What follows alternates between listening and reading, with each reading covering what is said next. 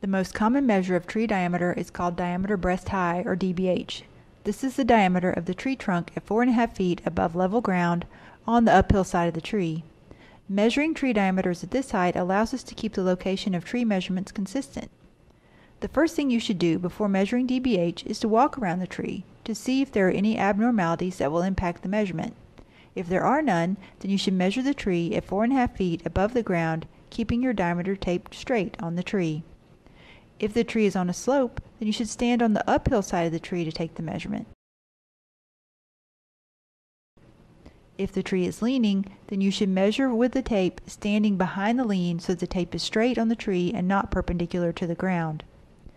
If there is an abnormality on the trunk at 4 1/2 feet, such as knots, swelling, turpentine scars, or fire scars, then DBH must be taken at another point, usually moving higher up the stem to a point where the defect is no longer affecting the measurement.